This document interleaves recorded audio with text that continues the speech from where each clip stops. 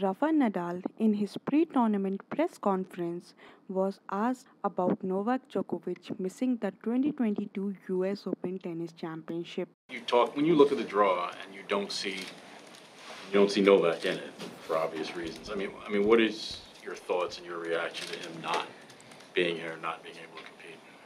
Well, in some way, we know that uh, Novak will not play uh, for a while if nothing changed in terms of the rules. No, uh, we know that since months ago and um, uh, from my personal uh, perspective, is is very sad news. Uh, it's it's always a, a, shame when the, the best players uh, of the world are not able to to play a tournament because of because of injuries or because of different reasons, and in this case, uh, uh, not having one of the best players of the history in in the draw of uh, Grand Slam is always a, an important miss. No, but uh, as I said, uh, tough for the fans, tough for the tournament.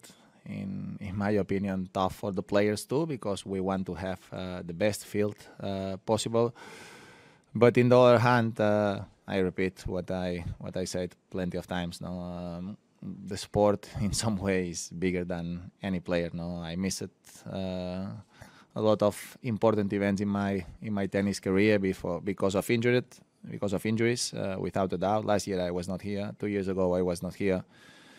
The tournament continues, and the keep the world of tennis keep going. And uh, even if it's uh, not a good news for for everyone uh, the world continues and the tennis will continue after me, after Novak, after Roger every year will be a Four Slams champion. Uh, so that's it. No, no, without a doubt. Uh, Novak is one of the most important players uh, of the last 20 years and the history of our sport.